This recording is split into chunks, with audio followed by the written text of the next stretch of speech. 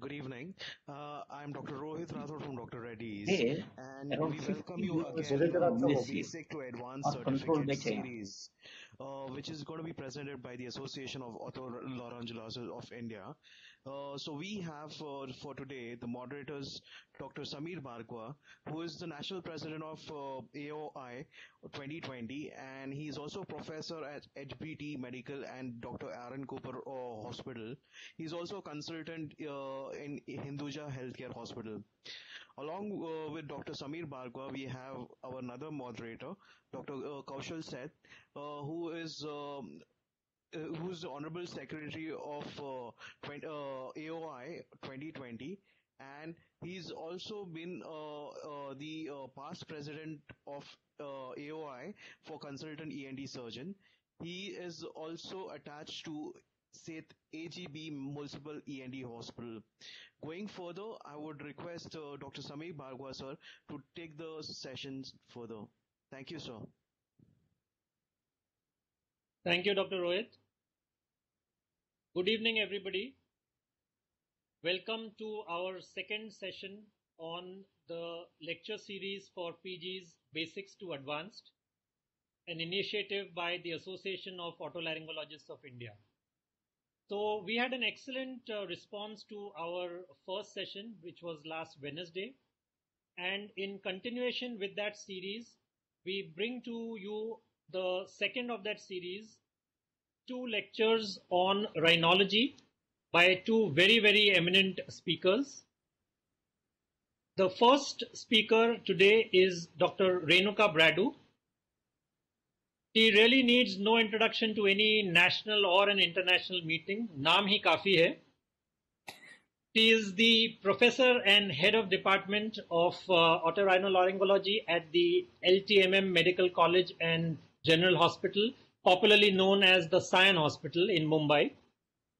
She is an internationally uh, recognized expert in the field of endoscopic uh, sinus and skull based surgery, and we all know that she has special interest uh, in uh, nasopharyngeal angiofibromas. So, in fact, she has been the first surgeon in India and amongst the first in the world to undertake the endoscopic excision of angiofibromas.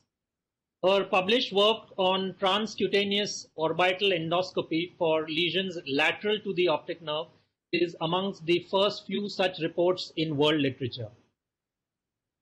Almost all of us have read her book on anatomical principles of endoscopic sinus surgery, a step by step approach, which is an excellent book from a beginner point of view. And we keep reading that to refresh our uh, knowledge as far as anatomy, etc., is concerned. He conducts an annual course in endoscopic sinus surgery at Sion hospitals for the last 14 years, during which more than 1100 ENT surgeons from India and across the world have been trained. And I have been fortunate and privileged to be part of this uh, workshop for all the 14 years. Besides her interest in rhinology, she also has, uh, which, which not everybody knows, an interest in airway reconstructive surgery and she conducts hands-on workshops for the same. So with this brief introduction, I would like to ask Dr. Renuka Bradu to uh, come forward with her presentation on osteology in the paranasal sinuses. Okay. Over to Dr. Renuka. Thank you so much, Samir. Um, Samir, uh, I want to first of all congratulate both you and Kaushal for the excellent uh, work that you have been doing in this in this uh, initiative that you've had, and um, I'd also like to commend the excellent work that is being done by residents all over the country in the COVID pandemic. So uh, let's just go on.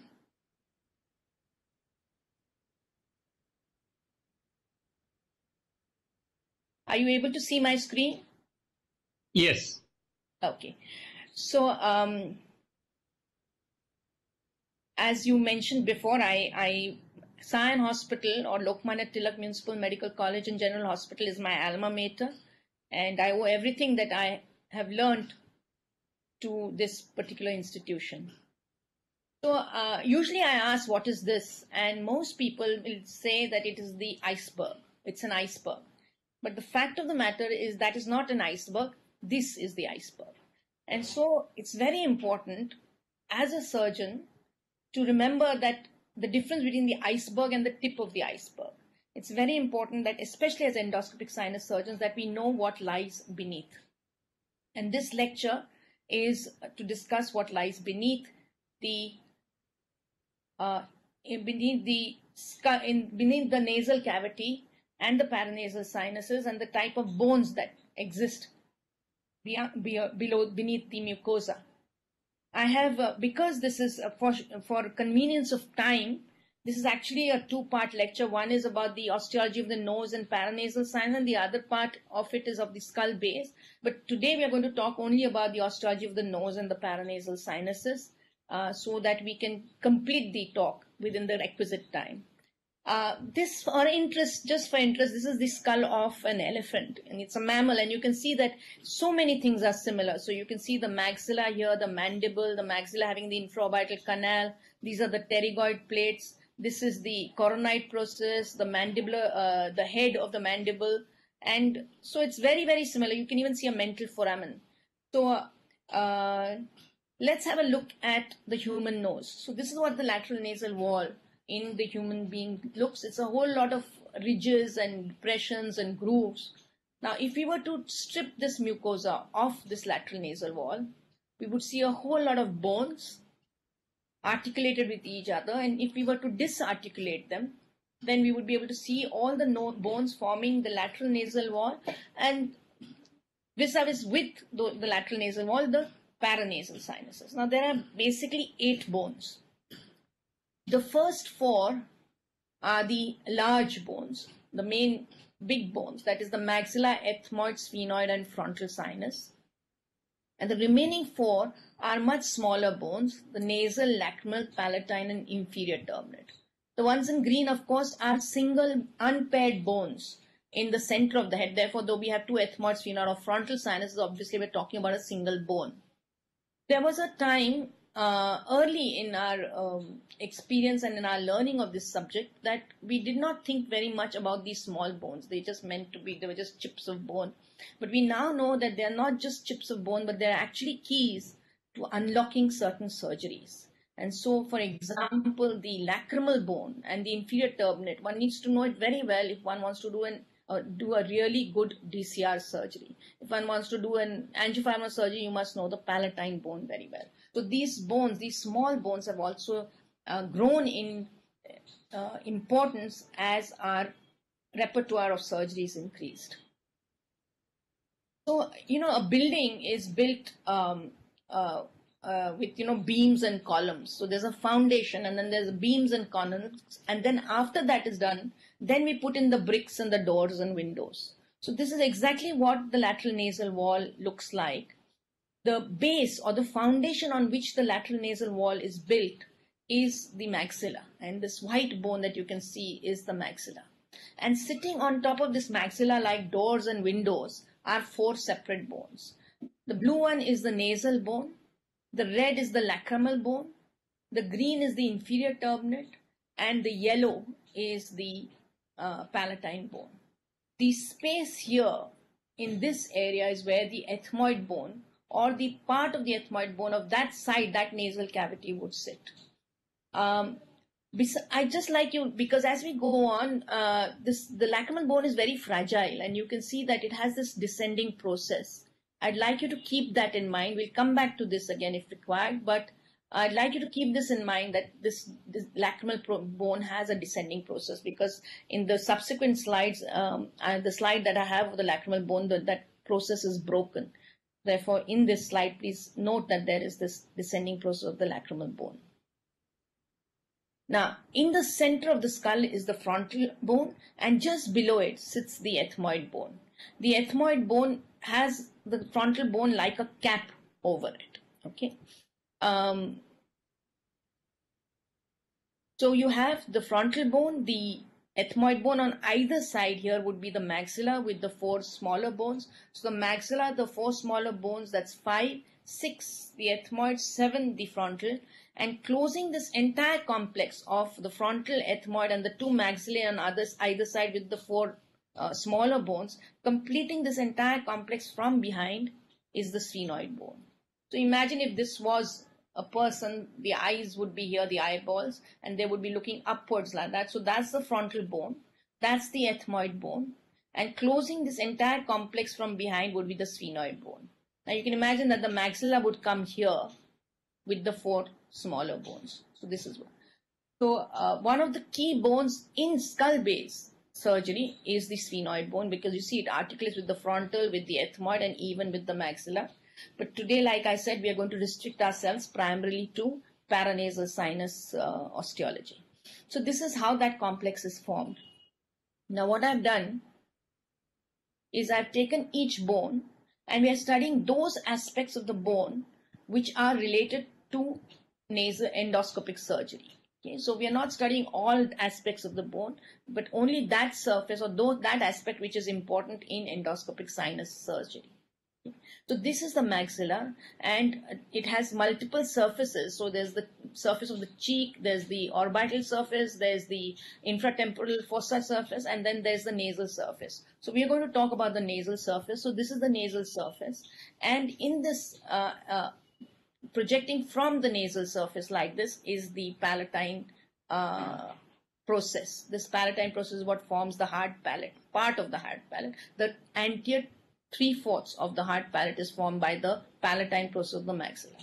Now, if you were to look at this um, uh, thing, you can see one large hiatus. It's a big opening into the maxillary sinus.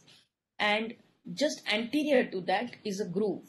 The groove is for the nasolacrimal duct and anterior to that groove. So this I have backlit this bone so you can make out that this is the groove, this is the sinus. So anterior to the groove over here is a process and this process is called the frontonasal process of the maxilla because it articulates with the frontal bone here and with the nasal bones here and therefore the frontonasal process of the maxilla.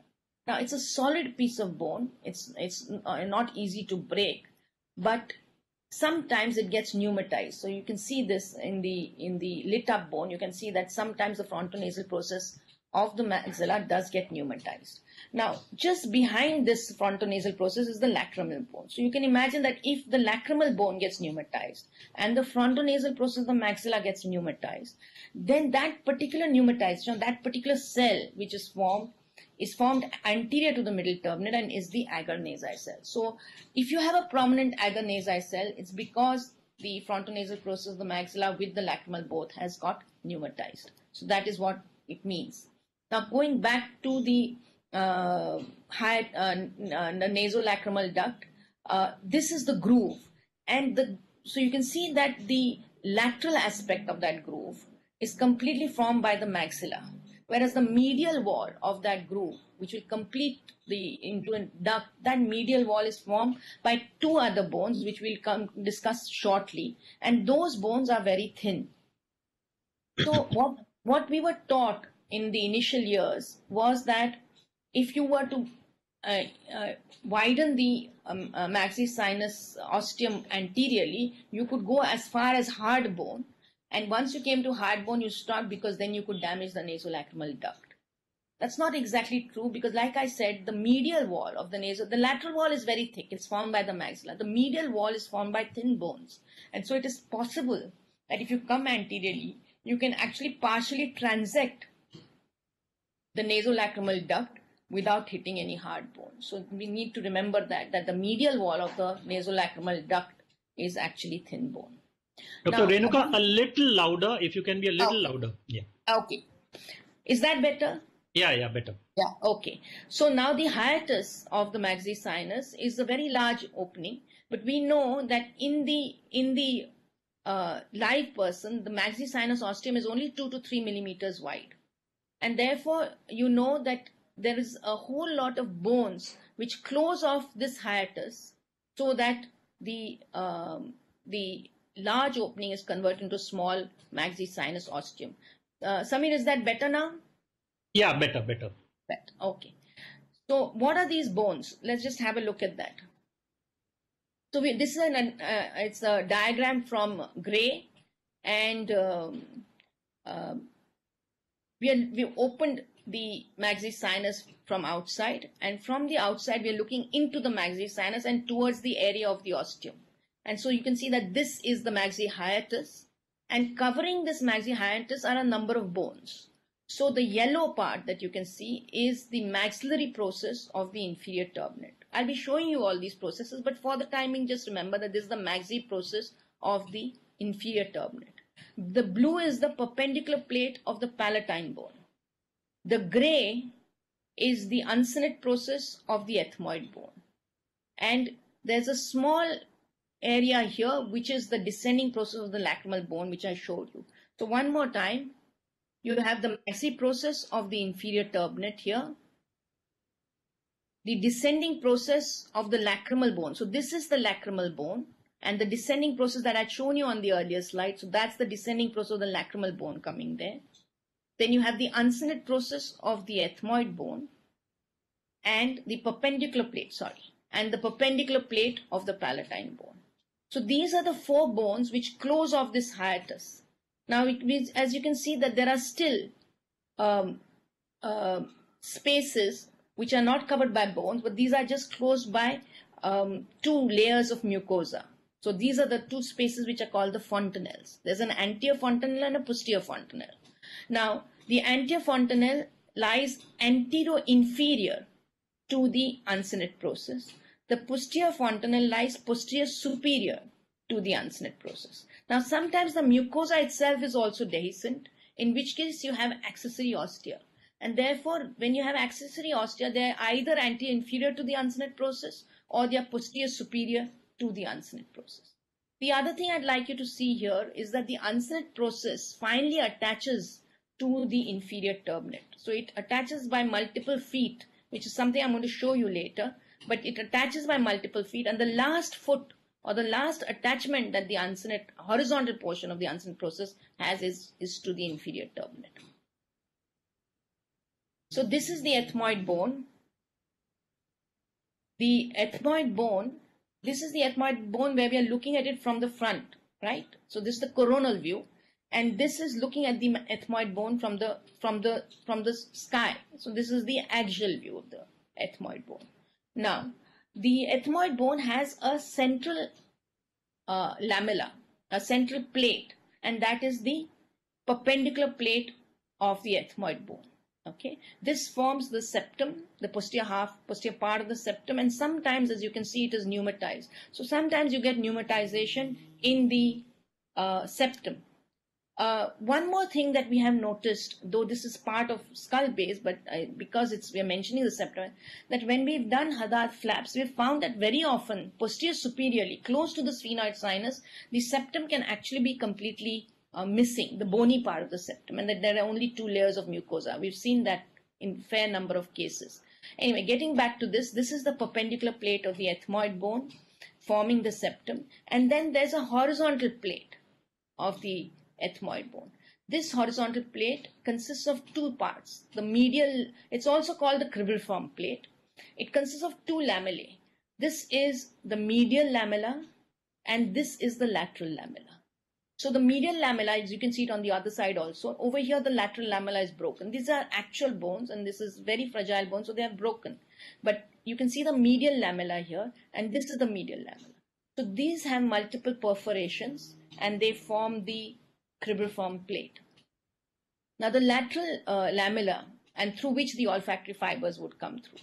Okay, so the lateral lamella is either it's it's oblique or it can even be more more vertical like this. But this is the lateral lamella. So also over here would be the lateral. Now at the junction of the horizontal lamella and the vert, uh, vertical lamella or the lateral lamella, is the middle turbinate attachment. So the attachment of the middle turbinate is exactly at that junction. Samir, are you able to hear me clearly? Is there any problem? No, that's fine now. Renuka, oh. it's okay. Carry on. Okay. okay. So that's the attachment between the horizontal plate and the vertical lamella. The horizontal lamella and the vertical lamella is where the middle turbinate is attached. Now we know that this horizontal lamella is the horizontal plate of the ethmoid, like the rest of the ethmoid, is a very thin bone. Now, what I want you to realize is that part, because the, uh, the middle turbinate is attached here, part of this thin plate of bone is lies with medial to the middle turbinate. That's between the septum and the middle turbinate. That's where the olfactory fibers would come down. But part of this thin plate of bone lies in the middle meatus, lateral to the middle turbinate, in the middle meatus. And in the middle meatus, close to the middle turbinate, we have to remember that the skull base is very thin. Now, beyond this is the other bone which comes uh, makes up makes up the root of the ethmoid sinus. That's the frontal bone. We'll come to that in a. But that is very thick bone. So, in the roof of the ethmoid sinuses, close to the middle turbinate, medially, the bone is very thin because it is the ethmoid bone and not the frontal bone, and therefore one needs to be careful in the middle meatus, close to the middle turbinate, in when we are operating which is why when we clear the cells along the skull base, we always say that point your instruments superior laterally. Because if you point them superior laterally, the chances of breaching this lateral lamella of the ethmoid bone is, the risk is minimized. Now, if you look from above, you can see this is the, the, the horizontal lamella of the ethmoid bone and you can see the multiple openings for the olfactory nerves. Now, anteriorly placed, anterior to the uh, horizontal lamella, there is this coxcomb, they call it. That's the crista galli. And on either side of the crista galli, there are slits. And then there are the alae, the two alae.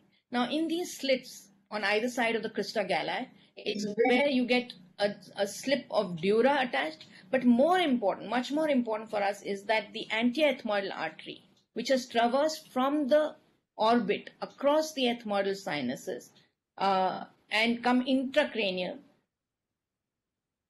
That antiethmoidal artery then dips back into the nose at the septum to supply the septum through this point, this, this particular uh, slit.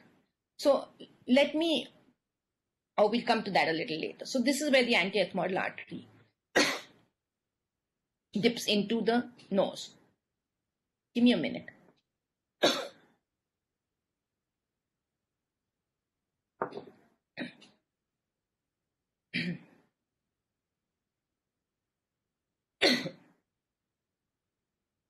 Now,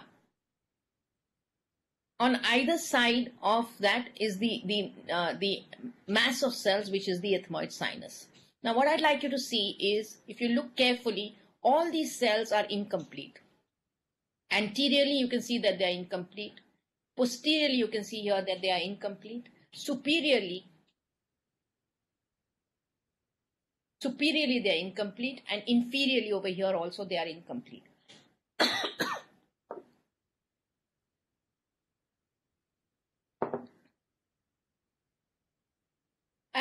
I've this concept in, in my book that the ethmoid cells tend to wander into surrounding bones. And as they wander into surrounding bones, they get named, get a specific name.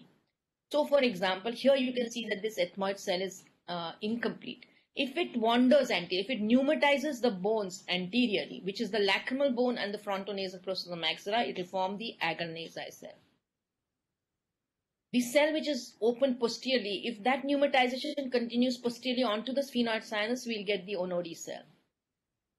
If the uh, pneumatization continues inferiorly into the maxilla under the orbit, you'd get the Haller cell.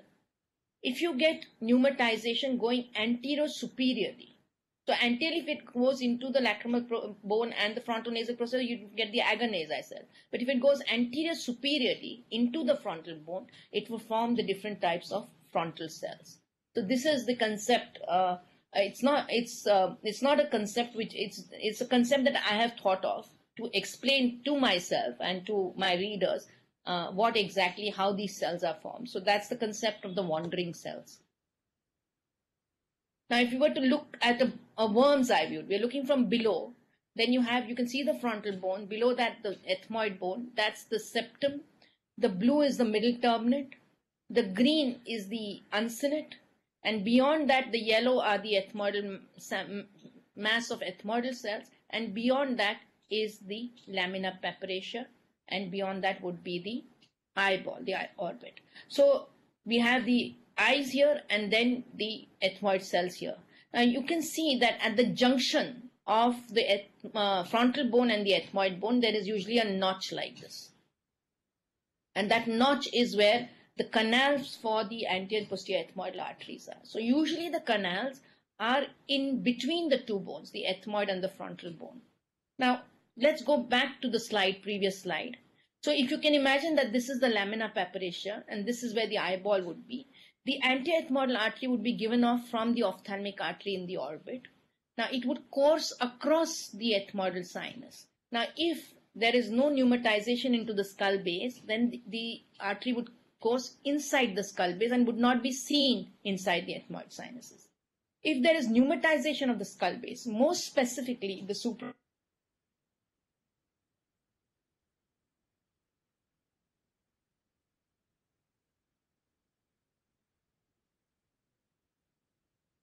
I think we've lost madam.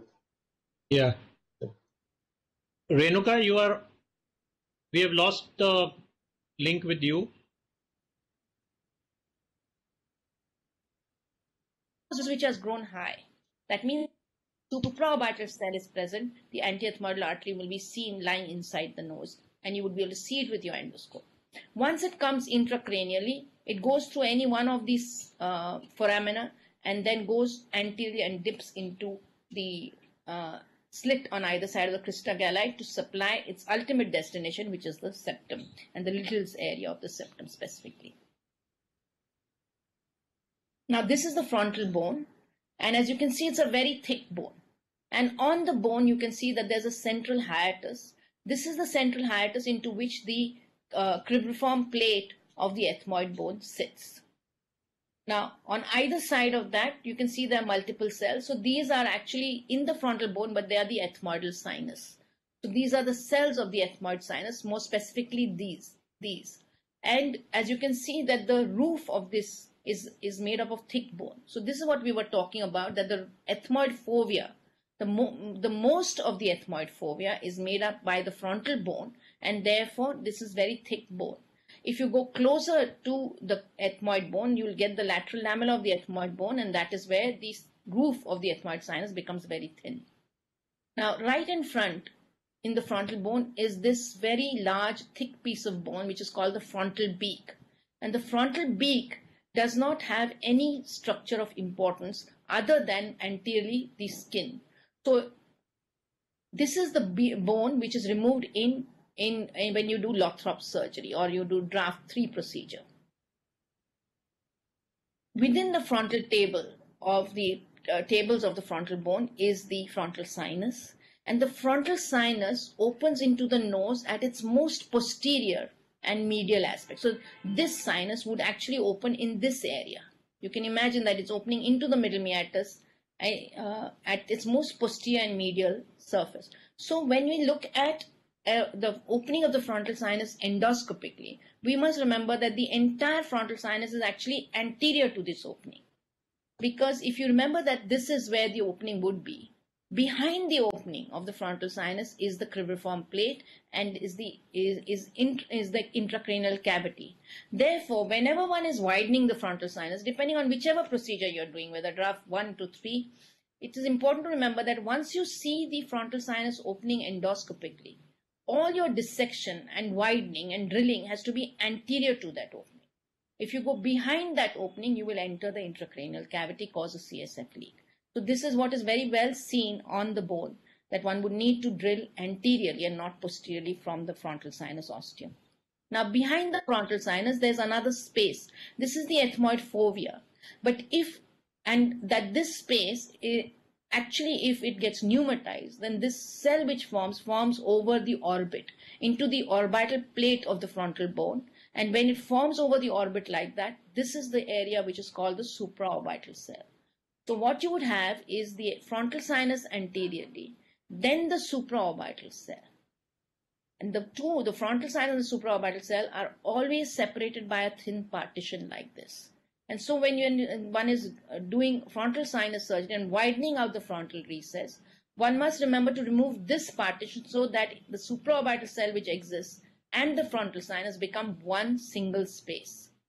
Now, behind this area where the front supraorbital would cell would be is the groove of the antiethmoidal artery. So you can see very clearly on both sides, this is where the antiethmoidal artery would run.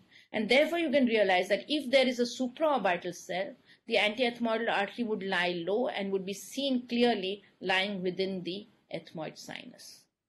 So this is uh, what you can see on the frontal bone. And this, as you can see, this is what would be called the orbitocranial canal. This is the sphenoid sinus, and like I said, I've backlit it, and um, it's uh, you can see uh, that the sphenoid sinus has a central body, and this central body has the two sphenoid sinuses. And in the center of the uh, sphenoid sinus, the body of the sphenoid sinus is this ridge, the intersphenoid ridge, and it projects into a long projection which is called the sphenoid rostrum. Madam, uh, Yes. sorry, sorry to interrupt you. I think your slides are not moving forward. We are actually stuck at the ethmoid bone. Don't tell me. Yeah, that's the Yeah. feedback we are getting. So this is the ethmoid bone, right? Yes, Can you see this? I can't see your I can't see your cursor. No, no. This Amit? whole slide is the ethmoid bone. Yes, yes, Yeah, you can see that. yes. Okay, this is the next slide. No, it has not moved. It moved. didn't has move. not. It didn't move. Now, why would that happen? Because I'm still sharing my screen. I haven't Mehul? stopped sharing. Mehul, can you help, madam? I wish uh, we'd known that earlier because, i well, we can we'll sort that out once. Uh, I'll go back and forth between slides again. Yes, if yes, I go yes. back, can you see No. this slide? No, no, no. it is still stuck at that No. ethmoid only. Madam, uh, please uh, escape from the slideshow mode and then again start it. Escape from the slideshow mode. Okay.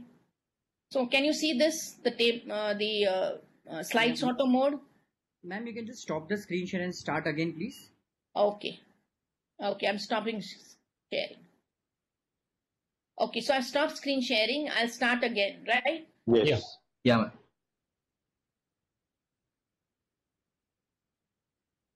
Just a minute. I'm...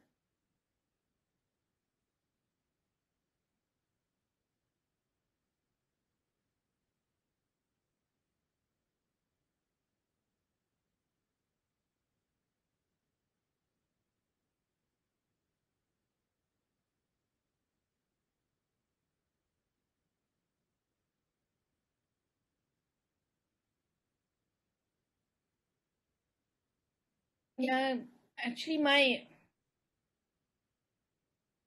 uh, presentation has gone off completely.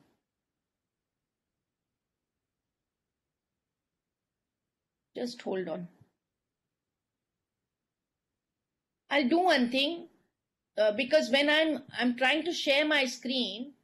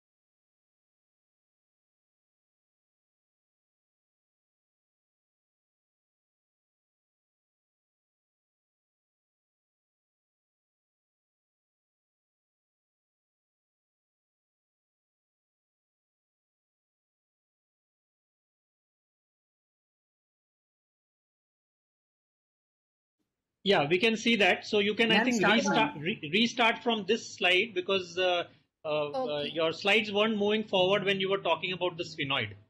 Okay, okay. Even the frontal, actually. Yeah, so I'll go back. Let's see what how are we doing on time? Okay, I'll I'll I'll I'll go back. Can you see the slide move now? Yeah, it did. Okay. So um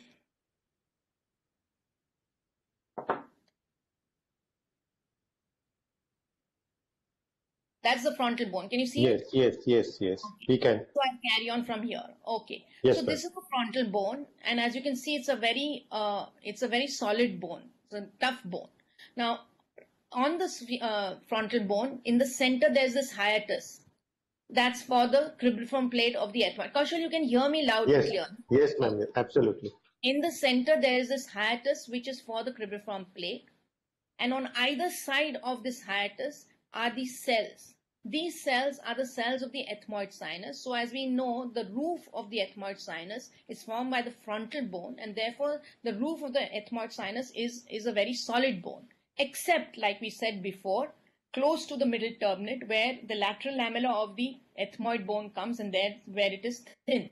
And therefore, we said earlier that when you want to remove cells along the skull base, point your instrument superior laterally. So this is what we were talking about.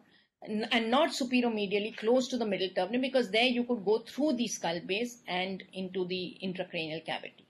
Now, the other thing about the frontal bone to note is that it has in front a very large uh, uh, piece of very thick bone. And this, this area is called the frontal beak. And it is this area of the frontal beak that we drill when we are doing um, uh, the Draf 3 procedure. Now, between the two tables of the frontal bone, there's a space as we know, and that's the frontal sinus. So this is the frontal sinus. Now the frontal sinus, uh, imagine if you were to stand inside the frontal sinus, the frontal sinus would open into the nose right at its most posterior and medial extent.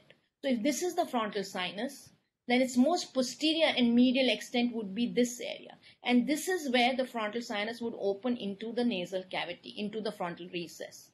So to remember, th- one needs to remember this while doing endoscopic surgery that with the endoscope, when you, you can see the opening of the frontal sinus, one must remember that the rest of the entire frontal sinus lies anterior to that opening.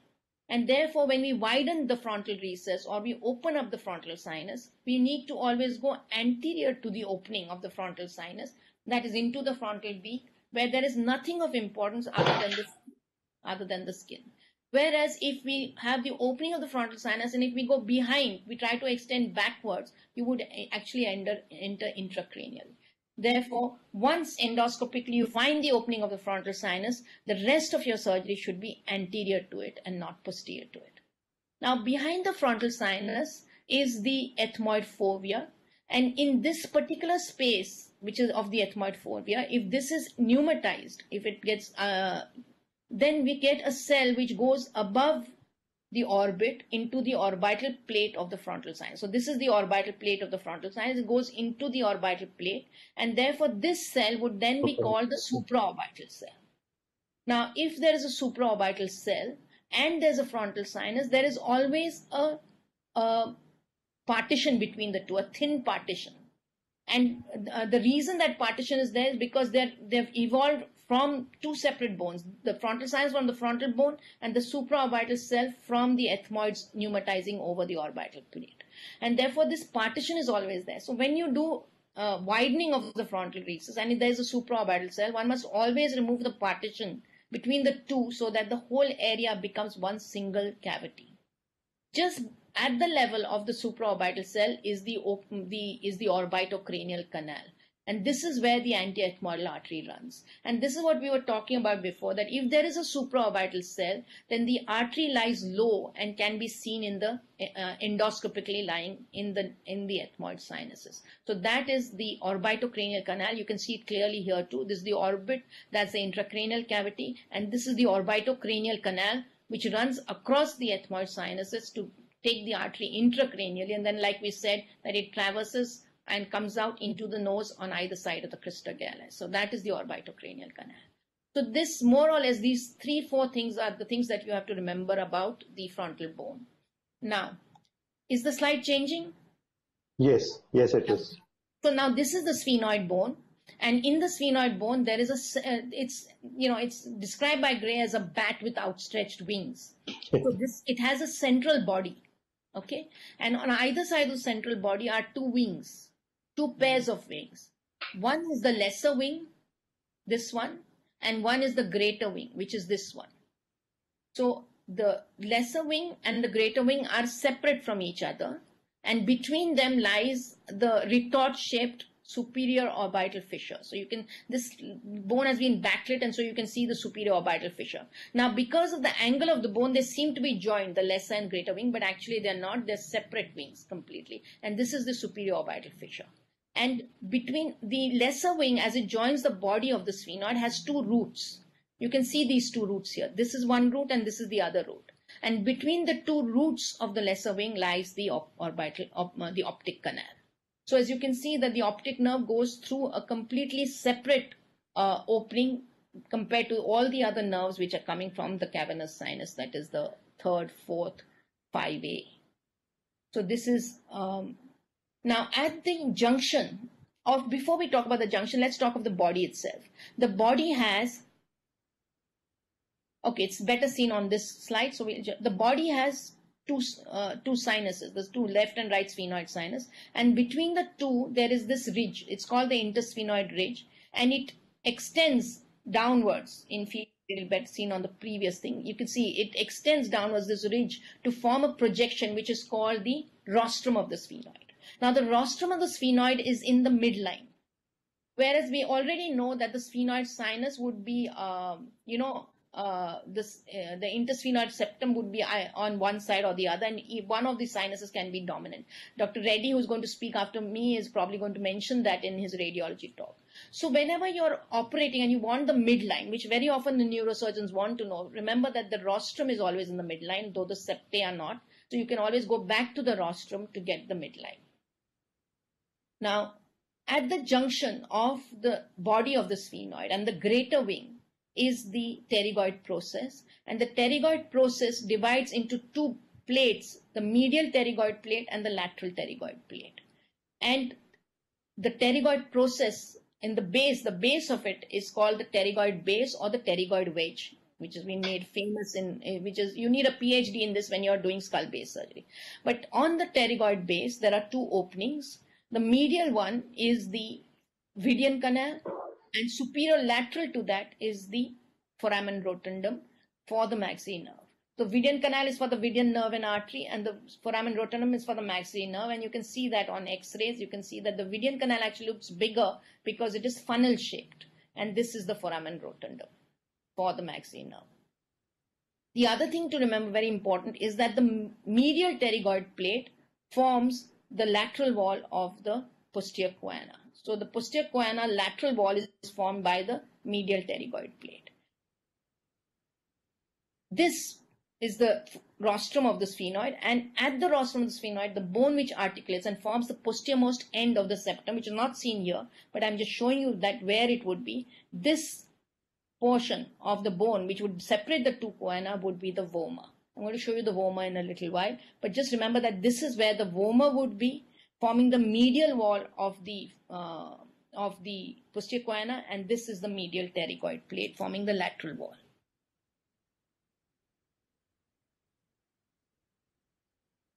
This is um, uh, to show you how the sphenopalatine foramen would lie in uh, in uh, with respect to the uh, endoscopic view. So you know that th- there's a lot of confusion about uh, there's some uh, some there have been I have heard some people talk about the foramen sphenopalatine foramen lying at the level of the inferior turbinate. Not really true.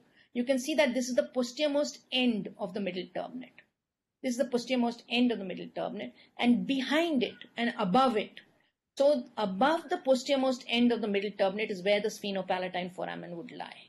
And so if you can imagine that, and this is at the level of the posterior choana, so you can imagine if this is the posterior choana, this is the middle turbinate, then above it is where the sphenopalatine foramen would lie, as you can see it over here. This is the sphenopalatine foramen, then of course the pterygopalatine fossa, and then going into the inferior orbital fissure and through the pterygomaxillary fissure into the infratemporal fossa. So sphenopalatine foramen, pterygopalatine fossa, pterygomaxillary fissure, infratemporal fossa. Sphenopalatine foramen, pterygopalatine fossa, inferior orbital fissure to superior orbital fissure. So that is how the bones are arranged in this. There's This is how the artery would be seen if you dissected it. Now, the fact is, the confusion is because what happens is when we are dissecting for the artery, we don't go from above the middle turbinate. We don't go from above the middle turbinate because it's not possible to go in that angulation. So we create a mucosal flap under the middle turbinate, that is at the level of the inferior turbinate, just above the inferior turbinate, and then lift that mucosal flap. We see this crest. It's called the crista ethmoidalis or the ethmoidal crest. And just behind and above that is where the sphenopalatine foramen and the artery and nerve would be. Now, the fact of the matter is that this crest is crest to which actually the middle turbinate is attached. I'm going to show you that on the bones. It's attached to the middle turbinate. The middle turbinate attaches to this crest. So when you see this crest separately, it's because you have retracted the middle turbinate from its attachment. Its third and last attachment. And so when you detach it, that's when you're going into the region behind and above the middle turbinate, and that's where the sphenopalatine foramen lies. I'm going to show you this attachment of the middle turbinate, how it attaches. But you imagine that if this middle turbinate was attached here, when you, with the ballpoint, move this attachment, remove this attachment, that's when you're gone into the area behind the middle turbinate, and that's where the sphenopalatine foramen would be. So you can imagine that you're going from, from here, dissecting off this attachment, and then going up into the sphenopalatine foramen. So from here, dissecting off this attachment and then seeing the sphenopalatine foramen. That's what's happening here. This is the inferior turbinate. This is its uh, view from the medial uh, surface, that is the nasal surface that you would see. And this is an anterior posterior view. Now, which is anterior and posterior? The pointed end is posterior, and this is the anterior end. So this is how the inferior turbinate, which is a separate piece of bone, is formed. Now, when you're looking, so what we're doing is we're standing at the level of the septum and looking at the inferior turbinate. So this is how we're looking. This is the nasal surface, and you can see there are multiple pits over here. That's where the vessels are. They get engorged and the inferior turbinate swells up. Now, on the upper margin of the inferior turbinate, there are two processes. This is called the lacrimal process, and this is called the ethmoid process.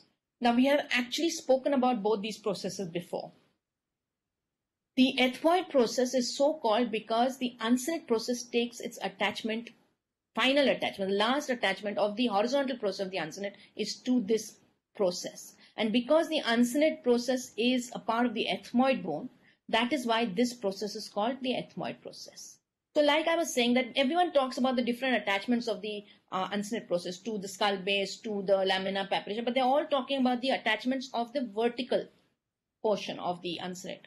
The horizontal portion, very few people talk about the attachments of the horizontal process, and the horizontal process is attached by multiple feet, and the last foot by which it is attached is to this ethmoidal process of the inferior turbinate. Now, this process is called the lacrimal process, and like I said in the uh, when we were talking about the uh, nasolacrimal duct, I said that the lateral wall is formed by thick bone, which is the maxillary. But the uh, the medial wall is formed by two processes. One process is this. This is the lacrimal process of the um, inferior turbinate. And I'd shown you the descending process of the lacrimal bone.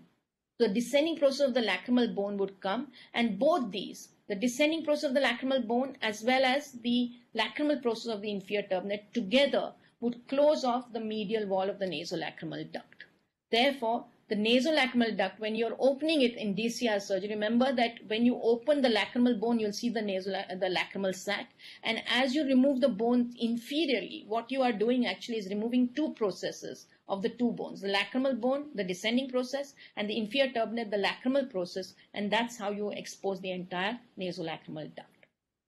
Now, if you were to look at the middle turbinate from the front, you would see this is the nasal surface and when you're looking from the in front you would see this other third umbrella like process and this is called the maxillary process And I mentioned this Maxey process before when I told you that this Maxey process is what closes off the Maxey hiatus. So you can imagine that if this is the medial surface, this is, let's say the septum was here, that's the inferior turbinate, and this would be the Maxey sinus. This is, we're talking about the right nasal cavity. Then this process would close off the hiatus of the Maxey sinus as was seen in the earlier slides.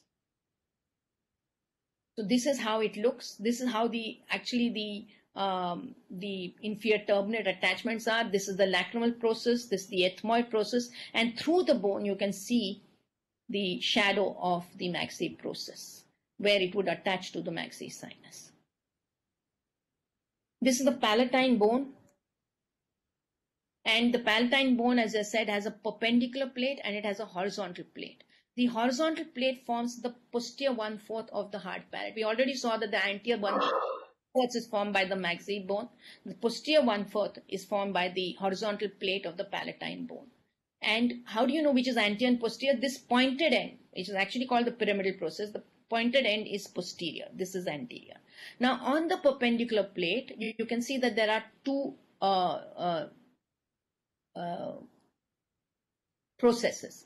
The anterior process, which is, a, is pneumatized, quite often pneumatized, is called the orbital process. The reason it's called the orbital process is because it forms very small part of the orbital floor. When it goes up like that, it forms the very small part of the orbital so the orbital process. And this is called the sphenoidal process, the posterior one. It's solid, doesn't have any pneumatization, and it sits against the sphenoid bone. So the palatine bone is here, and the sphenoid bone articulates like this. And therefore, you get the, the notch which is there between the two processes gets converted into the sphenopalatine foramen, sphenopalatine foramen. Now on the perpendicular plate of the palatine bone, you can see a ridge, one ridge and a second ridge. The first ridge is called the concha crest and to that is attached the inferior turbinate. And the second ridge, which is here, is called the ethmoidal crest to which the middle turbinate is attached. Now this is that ethmoidal crest that I showed you in the previous slides when we were talking about the sphenopalatine foramen. So this is the third attachment of the middle turbinate and this is to the perpendicular plate of the palatine bone and this is how the middle turbinate would be attached and just above and behind it would be the sphenopalatine foramen.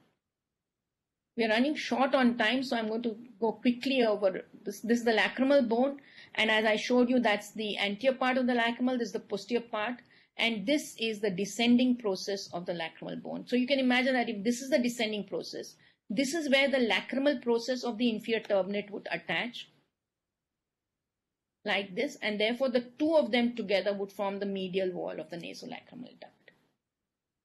This is the vomer. I had already shown you how the vomer lies at the posterior. Uh, Renuka, in that previous slide, could you just point out to what are the parts that we would be removing when we are doing a DCR, if you can? Yeah, you know, there's actually, um, I actually I'm just hurrying up a bit, so uh, uh, so I didn't mention it.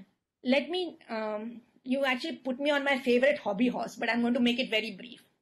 You know, when we do a DCR surgery, the steps of the surgery that we teach and we do ourselves is we find the maxillary line um, and then we put a punch into the maxillary line and we punch out the bone anteriorly, which is hard, so as to expose the lacrimal sac.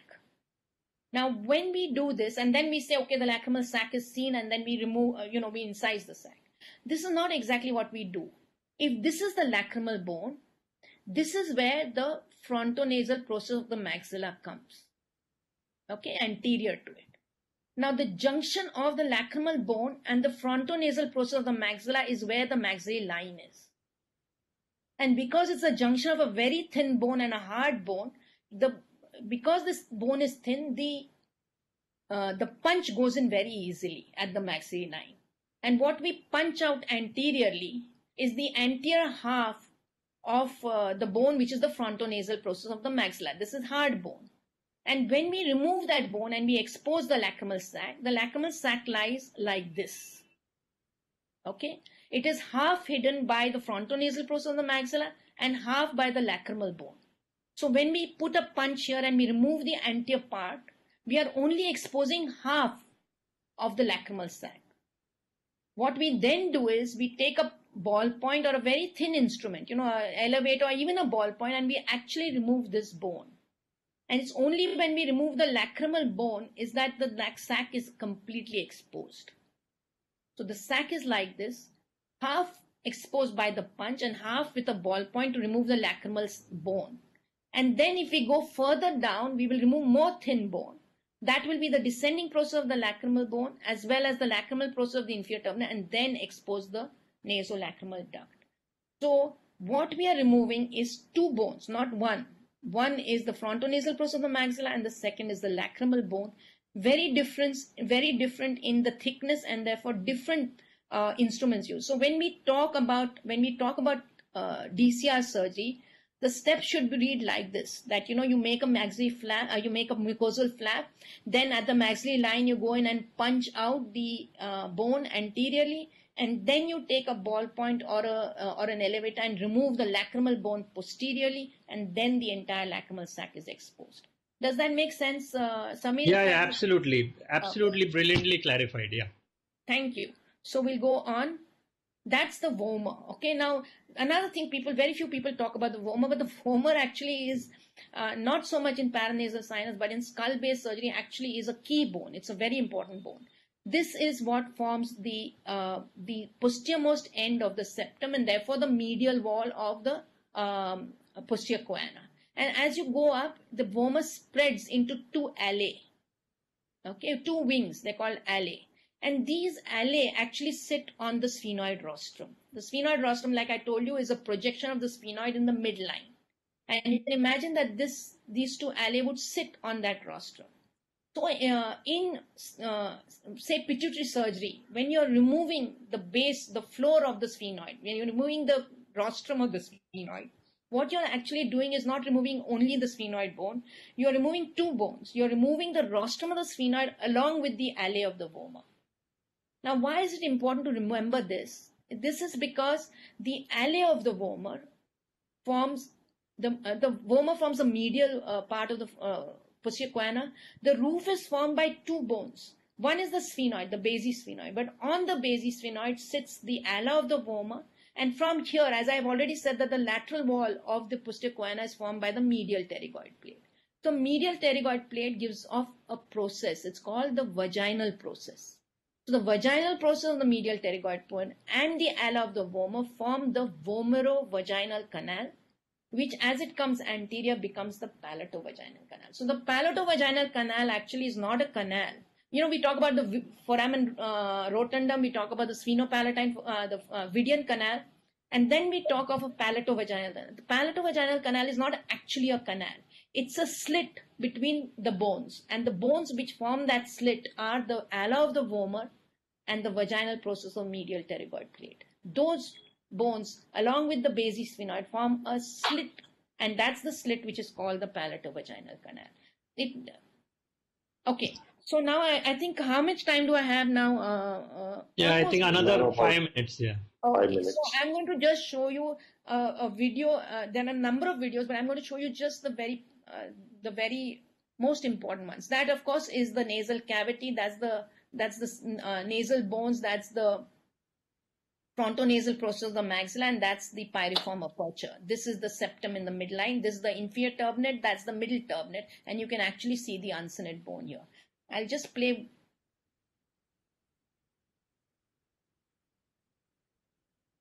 one video for you. Uh, this is the inferior turbinate. This is the middle turbinate. So this is what we're looking at is the left nasal cavity. This is the septum. This is the lateral nasal wall. And on the lateral nasal wall, this is the inferior turbinate, this is the middle turbinate, this is the uncinate. Okay, now I'm going to play that video for you. As you can see, this is the middle turbinate, that's the arch of the middle turbinate. And this is the uncinate. What I want you to see is look at the horizontal process of the uncinate. See uh, the horizontal part of the uncinate. See how it has multiple feet. Okay, so it's not attached by a solid. This is the anterior fontanelle, anterior inferior to it that you can see that space which would be closed off by only mucosa. Now if you play that further, keep watching the middle turbinate. And you can see here that this is how the middle turbinate attaches to the cribriform plate. So this is that the first attachment of the middle segment, you can see. That's the answer and Behind that is the bulla. Now we'll go to the next one. And you can see here, again, you can see that's the middle turbinate. That's the uncinate process. This is the bulla. These are, like I said, the feet. And if we play this video, you can see that that is the bulla. And this, this part of the middle turbinate, which lies behind the bulla, is the ground lamella. That's the second attachment of the middle turbinate. And this that you can see here, which is attached to the perpendicular plate. This is the perpendicular plate of the palatine bone. We spoke about it closing off the hiatus of the maxillary sinus. And on that we said there's a ridge. And this is the ridge of the middle turbinate. And you can imagine that if the mucosa was intact over here, you would actually raise a flap, lift off this ridge, and then see the sphenopalatine foramen. So what we are seeing here is the sphenopalatine foramen on the perpendicular plate of the palatine bone, to which is attached the middle turbinate. So I think we'll we'll stop short here. Um, I'll just leave you with one message. Uh, some of you in the audience would know about Phantom, right? So Phantom was a vigilante. He fought against evil and he was thought to be immortal because his son would always take over from him. So his son was called Kit and he would take over as the new Phantom to fight evil. And when he became the new Phantom, he would take an oath on the skull to protect the the weak and to uh, protect the good people. And therefore as I, I for me this has a very important uh, philosophy and that is that if you want to become an endoscopic surgeon uh, sinus surgeon skull based surgeon you have to take an oath on the skull and no osteology like the back of your hand. Thank you. I think we finished uh, maybe. Yeah within in good time yeah. And Yeah. uh, Yeah. very well explained uh, to everybody. I think uh, i've received a lot of reviews saying just brilliant uh, number of times. So renuka thank you very much for this uh, excellent uh, talk and uh, osteology anatomy everything uh, is the basis on which we can then grow climb and make jumps. So i think that was a very very nice uh, talk. Uh, we have Sorry, a I'll few just share one one thing with you yeah and that is that you know uh, when I, when I started my journey with angiofibromas, actually the only reason why I was able to understand that tumor was because I had learned osteology. So that was part of my journey. Actually, osteology was part of my journey with angiofibroma. Anyway, thank you. Uh, let me see if we have any questions that uh, are relevant to this particular talk. Uh, so, someone wanted in detail the anatomy of the uncinate process, but I think you have already explained that both the vertical horizontal part. Uh, You know, I uh, uh, Samir, the, the, these questions need long answers, so we're going to Yeah. have to keep it short. Yeah. okay. I think Madam has covered most of the Yes, I think uh, so. Yeah. Yeah. So uh, thank you once again, uh, uh, Renuka. So we can now move on to the uh, next topic. So I ask uh, Dr. Kaushal to introduce our next speaker. Thank you, Renuka Madam. That was a wonderful talk. It really took us back to our anatomy dissection hall. And uh, of course, no clinical knowledge is good without knowing the osteology part, as you said. Thank you very much for making us understand this all over again. Thank you so much. Uh, our Madam, next, you can stop screen, yeah. Sh- Yes, I'm, I'm Share doing that. need to stop. yeah. our next uh, eminent speaker for the session is uh, Dr. N. Venkatram Reddy from Hyderabad. Sir is a very well-known ENT surgeon who has done his PG from the prestigious uh, Osmania Medical College. He has worked as a faculty there, which is a 250-bedded government ENT hospital at Koti. I have been there last year. It's a wonderful setup. Uh, sir has been a practicing ENT surgeon for the last 29 years, and he has a teaching experience of more than 20 years at Osmania Medical College. He has presented more than 35 uh, scientific papers at both national and international level and has won three gold medals for the best paper presentation, along with having published more than 14 papers, both national and international indexed journals. Dr. Venkatram Reddy was also the editorial secretary of uh, our journal, the IJOHNS, from 2005 to 2012. He has delivered many guest orations. He has moderated many panels at various conferences at national and South Zone levels. He has served as the treasurer and the secretary of uh, AOI branch of Andhra Pradesh and has been the governing body member of AOI Hyderabad branch. He has also been the president of AOI Hyderabad from the year 1718. His main area of interest is the endoscopic sinus surgery and the anterior skull base surgery. And he has a large series of endoscopic excision of uh, JNA, inverted papillomas, and pediatric DCRs, to say the least. And uh, all of you all must uh, may remember the last conference of AOI in Hyderabad, which was uh, 14th Asia Oceania ORL HNS, which came to India after 37 years. Dr. Venkatram Reddy had organized this wonderful conference. He was the organizing secretary, and we have very good memories of that conference. So, welcome to this session. I, I invite Dr. Venkatram Reddy to speak to us about the paranasal sinus radiology. Thank you. Hello. Yes, Am I audible? Am I audible? Yes, sir. Yes, yes. Yeah. Uh, can you see the first slide? Yes, we can. Yeah. Should I make it bigger? Yes, yes. Go on to the slideshow. Right, Yeah. sure. Is it okay? Yes, yes, perfect. Yeah, uh, thank you, Dr. Kaushal, for uh, my introduction, and uh, I thank the governing body of AOI for giving this opportunity. I also thank Reddy Laboratories for making this uh, uh, event possible. Uh, I think uh, following external, I mean, excellent presentation of radiology, let us move on to the imaging techniques of NSS. Well, uh, uh, I think till date there are three important imaging uh, techniques that is sinus uh, uh, plain radiographs and CT scans and MRI. So as you are aware, I just I just take 45 minutes, uh, Dr. Kaushal. Yes, sir. We'll cut short to 45 minutes because there is Sure, some sure. interrupt, interruption for madam. Okay. See what happened to these uh, X-rays because these are ruled for almost 100 more than 100 years. That they have become extinct, no more because the X-ray chest is still holding good even in COVID era. Even if COVID positive cases, till the X-ray, uh, X-ray chest X-ray is being taken, but not our plain radiograph. CT scan is our standard investigation, and it's a gold standard today's practice. The MRI is becoming more and more uh, coming into prominence as we are gaining more, more and more knowledge about soft tissues and endoscopic sinus surgery and skull base surgery.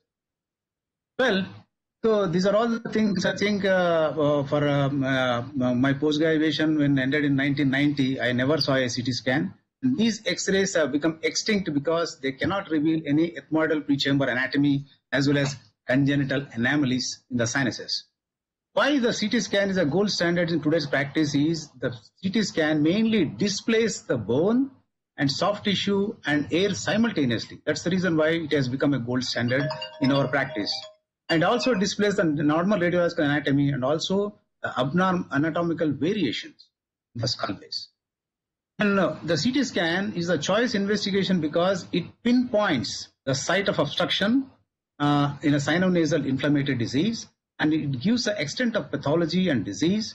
And if you take a case of mucocele and osteoma, tell me any, any other investigation, the CT scan is the diagnosis. Take a CT scan, it is directly shows because your diagnostic endoscopy doesn't reveal anything and your clinical uh, clinical uh, history also doesn't reveal anything, but these are it gives away straight away the diagnosis. A CT scan gives gives a knowledge about whether we can go for external approach or it is amenable for endoscopic sinus approach. And of course, it gives a roadmap for surgery. So this is a case of dentigerous cyst and then the fibrous dysplasia, as you can see, by looking at it, away we can make a diagnosis. That's the beauty of the CT scan. And as the standard teaching goes, for all sinonasal inflammatory disease, we used to teach that the 5 to 6 mm cuts are okay. And uh, uh, for any skull-based lesions, 1 to uh, uh, 2 mm cuts, that is high resolution CT scan, 0.5 to 1. But now in today's practice, we try to order all HRCTs, the 0.5 to 1 millimeter cuts for detailed anatomy. And that too, multi-planar CT scan is everybody aware of it, the coronal, axial, and the sagittal ones. How to read a CT scan is the individual side. Different people read in their own way. First, what I would read, how I would read in my practice is first orient yourself right and left, anterior, posterior, and then read the septum, which is a medial boundary in all the cuts, and also the lamina, which is the lateral boundary of endoscopic sinus surgery, read in all cuts. Then define the skull base and define the anterior artery and also the anatomy of the optic nerve and internal carotid artery. Then they define the pathology. What pathology is there in the CT scan? With especially the DICOM viewer is there, RadiAnt DICOM viewer. You can download it and you can actually put into a CD and then load it as per the navigation protocol. And you can actually see this is a navigation probe at uh, Moy ENT Institute, Jubilee Hills. And you can see the tracker and you can put it in the posterior ethmoid and you see in all the cuts the axial, the, uh, the uh, coronal, and then the parasagittal cuts. This is the posterior ethmoid. Putting the tracker over the optic, optic, optic nerve in the posterior ethmoid, there is a Onodi cell. And then this is over the, uh, just beneath the optic nerve, you can see the, the opticocarotid groove and it can correspond in the, the navigation uh, protocol in the navigation screen. So like this, the DICOM the viewer has become very popular because you can actually track each and every cell uh, from anterior to posterior and then define the cell and uh, uh, tackle appropriately in the endoscopic sinus surgery. Again, this is the, at the anterior wall of the sphenoid sinus. As you can see, the my tracker is the anterior wall of the sphenoid sinus, which actually corresponds the navigation. It's a wonderful tool. And uh, now the skull base, this is actually described by Keros uh, way back in 1962 as the two types depending upon the height of, as everybody knows, depending upon the height of the lamina lateralis or depth of olfactory fossa. So you have a type 1, type 2 and type 3. It almost is a, uh, is the person uh, who described almost long back in 1962 and basically is a physician, the professor of medicine who described this and it still holds good. And the type 2 skull base, as per the studies of Indian uh, scenario in the radiological journal, is very common. It constitutes about 70% of the cases. And then the type 1 is about 20 to 25 and type 3 which is a dangerous type constitute about only less than 5% of cases in clinical practice. And this is about more dangerous because the lateral lamella is being exposed and if you do a conventional instruments uh, and not a proper instrumentation, then you are liable to injure the lateral lamella of the cribriform plate and cause CSF injury, CSF leak. So this is a boy of 18 year old boy with a polyposis. You can see this is a type 3 skull base. This was operated 18 years ago, uh, uh, 8 years ago. And this is a type 3 skull base. I was very careful in operating this particular case. One has to recognize this. And coming to the, the common scenarios in various uh, CT scan, you can see here the frontal sinus. The frontal sinus is always, uh, sphenoid and frontal sinus are always asymmetrical. You can see incomplete septations and you have the disease in this and you have to break these incomplete septations and make it into one. And this is a gutter-like pneumatization to the frontal sinus. And this is a forolateral pneumatization. You can see this is going beyond the mid-pupillary line. Here is the mid-pupil, mid-pupillary line is going beyond any lesion which is going beyond or lateral to the mid-pupillary line. Probably it is not amenable to the endoscopic sinus surgery for an average uh, endoscopic sinus surgeon and probably this requires an external approach. So this is again a gutter-like pneumatization to the frontal lobe. So if the disease is there, should be very careful not to take out the frontal lobe uh, parenchyma. And you can see this is a mid midline cell which is called intersin intersinus septal cell. And this is an incomplete septation in both the frontal sinuses. There's a polypoid disease in between. And these things should be taken care during endoscopic sinus surgery, taking out all the septation, make it one cavity and this is these are the posterior ethmoids. Uh, now I am seeing the I am uh, showing the frontal sinus anatomy. The superior turbinate. These are posterior ethmoids, and you see what is this? This is the frontal sinus, which is whose pneumatization is going almost posterior uh, to the posterior ethmoids. So the far posterior pneumatization of the the posterior ethmoidal cells. And this is an interfrontal sinus septal cell. This is a cell. This is a next cut the interfrontal sinus septal cell opens into one of the frontal sinus.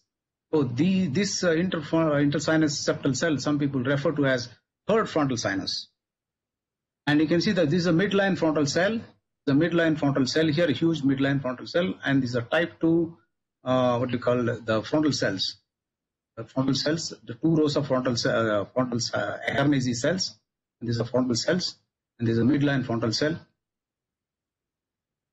And coming to frontal cell, the frontal cells, as everybody aware, there's a four types. The type one is the one uh, one single cell, which is uh, extending uh, which is extending above the agger nasi and below the level of floor of the frontal sinus. And the row of cells is a type two, and a, a cell which is above the frontal and extending into the uh, 50% of the height of the frontal cell is the type 3 cell and the one the type 4 is, is extending more than 50% of the height of the frontal sinus or it may be a separate cell. So these type 3 and type 4 cells are very difficult and you need some angled instrumentation to tackle these things. Then coming to agger nasi, I think these are all, everybody is aware of it and this is a a frontal uh, bulla cell. This is a frontal bulla cell. And this is a large agger nasi cell. This is a large agger nasi cell and this is a frontal bulla cell. And uh, see this cell, the importance of showing this particular CT scan is that you pass the curette posterior to this big agger nasi and break it and then remove it. But this same principle cannot be applied to this frontal bulla cell because the posterior wall formed by the skull base. If you pass instrumentation just like how you dissect the agger nasi, then you are liable to injure the skull base and cause a CSF leak. We should be careful with this. And the nasolacrimal ducts are more shown and more defined in the axial cuts. This is uncinate anatomy. So medially, laterally, uncinate bears uh, very uh, uncinate anatomy. The this is a pneumatized uncinate. So this can cause pose problems to maxillary sinus. So the anti-ethmoidal artery popularly called Kennedy's nipple between the medial rectus and then superior oblique. So this uh, you have to define it uh, properly whether it is running a mesentery or not. This is a concha, there's a concha bullosa, the concha of the uncinate process and the concha bullosa. And these are the, I think, familiar, everybody's concha bullosa paradoxical turbinate, only this is a bilobed concha. You can see if you want to tackle this particular, you have to break here and probably you should cause the least trauma to the skull base attachment. And coming to hypoplastic maxillary sinus. When do you say hypoplastic maxillary sinus? The maxillary sinus is generally is a pyramidal in shape. When it is hypoplastic, it assumes a shape of the ovoid.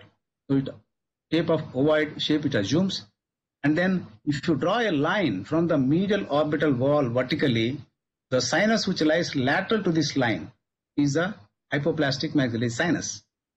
So, and uh, another important feature of hypoplastic maxillary sinus is pneumatization stops short of floor of the nose. So usually the, the pneumatization of maxillary sinus is equivalent to the floor of the uh, nose. But here it is oval shape less pneumatization, not to reach the floor of the nose, and lying lateral to the medial orbital wall is the hypoplastic maxillary sinus, which should be very, very important uh, anomaly, and you should be very careful in doing maxillary sinusotomy, these kind of lesions. And there is septation within the maxillary sinus, as you can see here. And coming to Haller cell, the Haller cell is also called infraorbital cell, which constitute about 10% of incidence in the random studies in India and it's largely it is due to the septation from the large bulla. It can be septation due to large bulla or it can be a separate one and it bears the bearing of the leading to the maxillary sinus pathology. Is the bulla and this you can see this is a, a suprabulla cell, a large suprabulla cell. It is attached to the skull base and the dissection of this kind of cell run as to these are the two agger nasi cells. After dissecting these agger nasi cells, and you have to dissect carefully from anterior to posterior, not the posterior to anterior, as I told in the earlier slide. And defining the ground lamella and sinus lateralis, just follow the anatomy of the middle turbinate, which goes laterally, usually get it inserted into the lamina papyracea, sometimes into the medial wall of the posterior part of the maxillary sinus. Then there is a superior turbinate, which is as the concha. Coming to Onodi cell, I think it is a very important uh, uh, scenario in the endoscopic sinus surgery. The Onodi basically is a Hungarian is a Hungarian ENT surgeon, And uh, way back in almost a century, close to a century, 1920, 1920, amazingly, he described the posterior ethmoidal cells are more, uh, the varieties of posterior ethmoidal cells coming to the tune of more than 30. He described more than 30 kinds of onodi, uh, posterior ethmoidal cells. So uh, after that, uh, Stammberger has redefined and named as a onodi cell. A cell which is a sphenoethmoidal cell which is extending 1.5 centimeters beyond the anterior wall of the sphenoid sinus. This as redefined by Stammberger after going through nearly 52 cadaver dissections and he has popularized and renamed it uh, in the in the name of onodi and there is a significant significant uh, incidence of onodi cells in the Asian population. As per uh, D.S. Sethi, the Singapore population has got nearly close to 65% or 70% of onodi cells. But in Indian scenario, uh, the incidence of onodi cell population, when we have uh, done a, a nearly about 100 to 150 CT scan random study when I was in government service, it's close to the 35% onodi cells in the random CT scan studies. So depending upon the attachment of posterior ethmoidal cell, the onodi cell, uh, to the annulus of Zinn, if it uh, attaches anterior to the annulus of Zinn, then it is called indirect onodi. So when it is goes posterior ethmoidal cell or sphenoethmoidal cell goes beyond the annulus of Zinn, then it is called direct onodi. In the direct onodi, you have a negative and positive. What do we mean by that? A negative is one which doesn't contain the optic nerve bulge. So there is no risk. So a direct is you have an optic nerve bulge projecting into posterior ethmoid. So this is more riskier during dissection of the posterior segment in the endoscopic sinus surgery. So how to identify the onodi cell in the CT scan is if you see a horizontal septation like this here. So this is a right uh, and left sphenoid. You have a horizontal septation and this is the onodi cell. Same thing here. And this is the onodi cell. You have a horizontal septation. Again, a horizontal septation here and here. This is the onodi cells on both sides. You see the optic nerves are popping, popping into the onodi cells. These are direct onodi positive. You can see this is without any bony covering. Again, this is the onodi cells. Look at this. They are directly popping into so prominent. One is popping from the lateral wall of onodi, other is from the superior wall of onodi. Then sphenoid sinus is uh, again, uh, uh, you know, is a very variable organ. Uh, so it has three varieties: the conchal and pre-sellar and post-sellar, uh, sellar and post-sellar. The conchal variety constitutes only five percent. It is a rather contraindication for the uh, transsphenoidal approach to the pituitary. And this is also very difficult, but still you can go transsphenoidal approach. And this is a very uh, desirable for any transsphenoidal approach. Okay? And this, this constitute more common 67%. And if you look at this, this is a rostrum of the sphenoid. and on both sides, lateral to this is the sphenoid ostium. How to identify the sphenoid ostium is identify the rostrum and look at laterally and little up, you see the sphenoid ostium. Uh, the rostrum is here is a pneumatized. This is a non-pneumatized rostrum. You can see this is a sphenoid ostium. And this is an intersphenoid septum attaching into the carotid artery. And here the optic nerves are popping into the from the roof of sphenoid sinus. And here you can see this is the foramen rotundum, that is V2, and then this is a Vidian canal. This is a Vidian foramen, and this is a V2. And you can see these are two pterygoid plates, and there is a pneumatization of the pterygoid. So this will lead to a small lateral recess here. So the, to say the lateral recess is present or not present, so the pterygoid wedge should be pneumatized. And if more extensive pneumatization of sphenoid, so the, there will be all the structures, the optic nerve or uh, the V2 or uh, V2 or Vidian nerve, they are more exposed. Like uh, uh opposite holds good with a uh, CT scan or X-ray mastoids, where you have a less sclerotic, the structures are well protected. Intersphenoid septum again, getting attached to the carotid. And this is again extensive pneumatization going up to the greater wing of the sphenoid. Next, a word about cone beam CT. A cone beam CT is a latest version of the CT scan. It's a very compact, very safe and very faster version. And it gives the 3D images and it has a less radiation exposure compared to a routine CT scan, a regular CT scan, almost one hundredth. And this is the uh, promise for the future. And it takes less than a minute to get images. So such a faster version of the CT scan, it is coming into prominence now. Uh, and coming to the imaging aspect of the paranasal sinus with reference to the MRI. So MRI, it is coming into more and more indications are uh, joining up the MRI. So more and more people are getting it done for various indications. So for us, the indication for MRI in a case of sinus disease is a diagnostic dilemma in the CT. If you have a diagnostic dilemma in the CT scan, probably the MRI is indicated and can throw some light and give a clinical diagnosis. Our disease going beyond the confines of the sinuses, say for orbit or skull base. And if you have all the sinonasal tumors, all the sinonasal tumors can have an indication for the indication for MRI study. In all immunosuppressive agents, because there is an erosion of the bony walls, the orbit or skull base or intracranial extension, interorbital extension, and, and the immunosuppressive host should undergo MRI to have a detailed study of the soft tissue invasion. For example, the periantral fat, the meninges involvement, periantral fat involvement, or muscle involvement. The post-operative complications like orbital or optic nerve skull base insults, then MRI is useful. Then what are the common situations that uh, going around uh, in our practice, the CT versus MRI? So most of us are well versed with the CT scan and the CT scan is our gold standard, no doubt about it. But there are certain indications for MRI, for a better diagnosis and better treatment of the patient, better surgical outcome. Now, the antrochoanal polyp, if you take it, this is the preferred method for the diagnosis is again a CT scan. CT scan shows classically the smooth enlargement with some lobulations, sometimes with no bone destruction. And there is a wide os, especially the axis.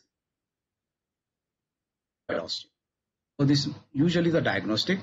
If you take MRI, this is quite variable. The T1 weighted image will give a low intermediate signal and a T2 image give a high homogeneous signal like this. And this is rather classical. When you have a diagnostic dilemma, you can ask for T2 weighted uh, image wherein it will show high homogeneous signal. Inverted papilloma, most of the time, there is a diagnostic dilemma in the CT scan. So MRI is very crucial when in a, in a case suspected, suspected case of inverted papilloma, my choice will be the MRI along with the CT scan. So uh, the CT scan will become uh, more diagnostic and more pathognomonic when you identify a hyperostosis in the CT scan, as in this particular case, which happens only in minority of cases, not majority of cases of inverted papilloma. The ballooning opacity, as you can see here, the ballooning opacity with a hyperostosis, you can see the hyperostosis here, uh, uh, is a very pathognomonic of the inverted papilloma in the CT. If you take MRI, for example, this is a case of maxillary sinus uh, inverted papilloma. You see a very classical, if you do a MRI, both T1 and T2 weighted images with a contrast, then you see a very classically described convoluted uh, cerebriform pattern. It's called CCP, and which demonstrates alternate bands of hypo as well as hyper waves of the shadows. So you can see the hyper and hypo waves of the shadows starting somewhere.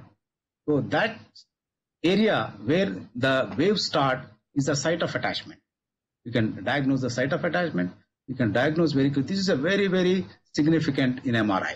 So one, one can demonstrate this in most of the cases of maxillary sinus pathology and some cases of other areas of the MRI for the inverted papilloma.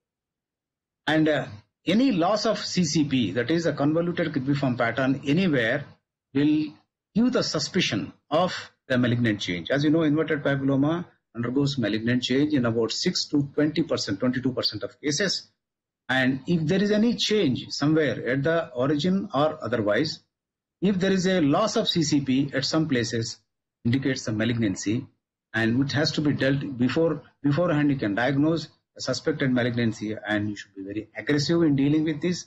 The site of attachment, if necessary, the bone uh, also should be drilled at places where it is required. Then coming to most common is allergic fungal rhinosinusitis. I think everybody is aware there is a bony expansion with a heterogeneity, which is a pathognomonic of allergic fungal sinusitis in the CT scan. Is a gold standard. But at times, the allergic fungal sinusitis cannot be differentiated from a tumor or a mucocele. So you have at times you get confused if the heterogeneity is not proper or not, or it can mimic a tumor or it can mimic a mucocele at times. So MRI is very classic in case of allergic fungal rhinosinusitis where it gives a signal void and uh, hypotense, hypo, hypointense shadows. That is because of magnesium, calcium and manganese. They are not, they, are, they do not have any uh, shadow in the MRI. So this heterogeneity is all fungal mucin is due to the magnesium, calcium and manganese salts in the fungal mucin. So this MRI picture is very pathognomonic of allergic fungal rhinosinusitis. Coming to mucocele, again, the, for mucocele diagnosis, the gold standard still is the CT is the best for the diagnosis. So it gives a circumscribed opacity uh, with a bony expansion and thinning with a peripheral calcification. If you give a contrast CT scan, a contrast CT, this capsule of this the mucocele can be enhanced. This is very pathognomonic in the CT scan. If you take MRI, the MRI is quite variable and non, non-reliable because the MRI will give a uh, unreliable report because it depends on the water content and the content of the protein. The protein content, this gives lot of variation. So this is more confusing. So best is the CT scan with contrast wherever is necessary for the mucocele diagnosis. Then coming to CSF rhinorrhea. All everybody know that these are the battery of the imaging techniques for the CT uh, for the CSF rhinorrhea.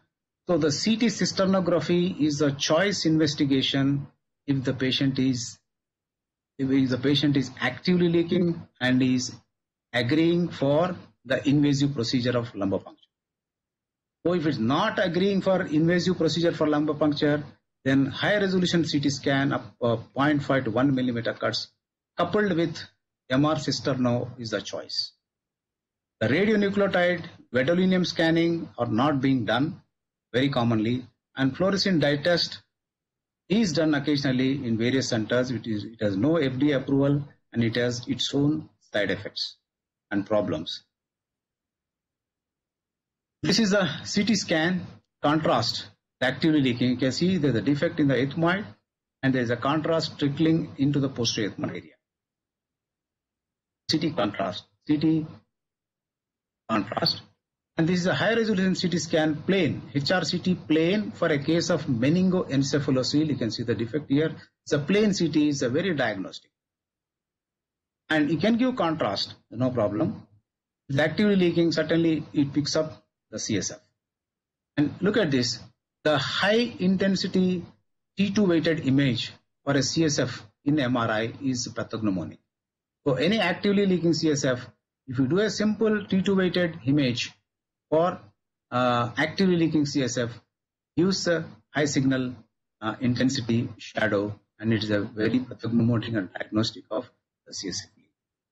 So MRI for a CSF leak can be done uh, for uh, not only the diagnostic of uh, diagnosis of CSF leak, active leaking CSF leak, T2 weighted image, but also it is also done for raised ICP, that is intracranial pressure, and to rule out certain intracranial lesions. The raised ICP pressure, ICP pressure, the intracranial pressure, are reflected in the CT and the MRI only, as the dilatation of optic nerve sheath, tortuosity, slit-like ventricles, and you have a buckling, and you have a vertical buckling, hydrocephalus, low flattening, optic atrophy, etc and the intracranial lesions can be ruled out for a tumor like. And this is The child of 11 month old child, it was done uh, a huge en- congenital meningoencephalocele, huge one, extending into the vestibule. This child was presented to me about 10 years ago. And, uh, she just 8 kg, weight, and she was crying. The only investigation we have done, the actively leaking investigation we have done was um, uh, uh, MRI and see this, and we have gone ahead with the surgery. And this is a trauma, CSF leak with a trauma. You can see the multiple fractures here. The uh, this is a victim of the domestic violence, uh, hit by the husband over the head, and you see the fractures to the posterior table as well as anterior table, and you, you have some CSF here. There is some herniation of the brain into this, and obviously, if you take it, this is going beyond the mid-pupillary line, and these are the things which cannot be tackled endoscopically, the CSF leak part, as well as the reduction of these fractures and do something with this. And this obviously needs the external approach. Of course, MRI will be taken to rule out any uh, uh, parenchymal injury of the brain. But by and large, the, the, uh, the investigation of choice for the CSF leak of trauma, the CT scan. Then coming to JNA, the JNA you have uh, these battery of the tests, the CT contrast, and you have MR, MR angio, and you have a digital subtraction angiography, and you have a 3D CT angio, 3D CT angio. I think my choice of investigation for all the JNAs is, first choice is the CT contrast. This gives not only the diagnosis, but also the site and extent. The MR is done for accurate, whether it's due to contrast or without contrast. So it gives an accurate assessment of the extension of the JNA, intraorbital and intracranial extension. And the MR is also useful for accurate staging of the tumor. The digital subtraction angiography is to identify is done to identify the feeding vessels, and also the embolize the vessels. The single artery feeding or multiple artery, or whether they have an intracranial connection with the intracarotid artery, can also be delineated with dig- digital subtraction angiography. The CT angio, again, this I'll come, uh, I'll discuss later what is the importance of it. Then this is a is a plain CT, a plain coronal CT. You can see in plain coronal CT how nicely the JNA can be uh, diagnosed. You can see this is a sphenoidal extension, this is a choanal extension, and this is the widening of the sphenopalatine. The plain coronal CT, it is not my choice of investigation, but it can also uh, uh, uh, done and you can see see the uh, how nicely you can diagnose the simple non-contrast coronal CT. And this is a coronal CT. This is a choice investigation where you can see uh, the tumor, the homogeneous enhancement, enhanced tumor. You can the widening of the sphenopalatine foramen, and you can see the dumbbell-shaped tumor. You can see the bowing of the posterior wall of the uh, maxillary sinus, anterior bowing of the posterior wall of the maxillary sinus, very clearly delineated, and different extensions. This is again a contrast CT of another case. You can see this is a beautiful delineation of the JNA, and you can see all the you know, pterygoids have been destroyed. And you can see nasal extension, pterygopalatine fossa extension, infratemporal fossa extension. And you can see the clear Holman-Miller sign. Holman-Miller sign can be demonstrated. And coming to MRI, what are the indications of MRI in a case of JNA? The DNA, yeah, in the MRI, in a case of JNA, differentiates the tumor from other soft tissues and the retained secretions. So the exact uh, assessment of the tumor, you can make it because the, along with the secretions and soft tissue is not being assessed. The JNA will have a more larger proportion and it, the staging may change. So it will basically differentiate, it gives the exact size what I mean to say. And then that gives accurate staging and wherever there is a soft tissue invasion like intracranial uh, extension or intraorbital, uh, then the MRI is indicated. And it also, it also, MRI also gives the medullary bone marrow involvement. There is a medullary bone marrow involvement of pterygoid wedge and the basis sphenoid. So when the marrow gets involved, uh, that will be clearly shown in the MRI, and you can properly you can uh, drill it at the end of your excision of the tumor. This is the axial MR. you can see as a non-contrast axial MR, you can see the flow void areas. The flow void areas are uh, you know, designated, the, are shown as a black rounds. So this can be arteries or veins. More and more flow void areas, more vascular tumor. And you can see this is a coronal MRI. You can see the hypervascular mass, homogeneous enhancement, and multiple flow void areas again. Multiple flow void areas, more vascular tumor. Then this is uh, the digital subtract angiography. This is a uh, uh, this is a uh, left hand side. This is the left hand side. The right hand side. You can see this is a tumor blush. You can clearly see, and you can precisely embolize which vessel is being involved. And this is the digital X-ray with the digital X-ray during embolization. Soon after embolization, this is a digital X-ray which can show the tumor blush.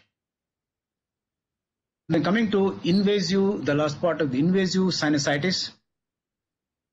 The invasive sinusitis, as you all are aware, is an acute and chronic. Acute invasive sinusitis is a fulminant type, which is usually uh, affected individuals are the diabetics or the immune suppressed host. If it is diabetes, then the zygomycetes are the most common, the rhizopus and mucor. The immune compromised host, most commonly the aspergillus in about 80% of the cases. Then chronic invasive is again affects the diabetes, sometimes the immune competent host as well. And this usually presents as a facial-maxillary swelling. This is a long course, indolent course. So it presents as a facial-maxillary swelling and a tumor-like presentation. So not that fulminant, but it is slowly progressive. Coming to the CT scan in a case of acute invasive fungal sinusitis, typically see this is a ethmoidal involvement of this is a CT picture in acute invasive fungal sinusitis. Typically shows there is a lamina destruction and intraorbital invasion, Intraorbital cell, intraorbital invasion, and there is a proptosis. And if you want to study the soft tissue invasion like optic uh, involvement or the periorbita, the muscle, fat involvement, the MRI is the best. The CT scan gives only a laminal breach and uh, sometimes the maxillary sinus wall.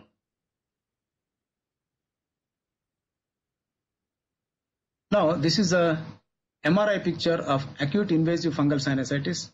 As you can see here, this is a case of aspergillus and there is involvement of this ethmoidal and sphenoidal involvement uh, of the fungal sinus, invasive fungal sinusitis. There is involvement of cavernous sinus this side. The left side there is a cavernous sinus involvement.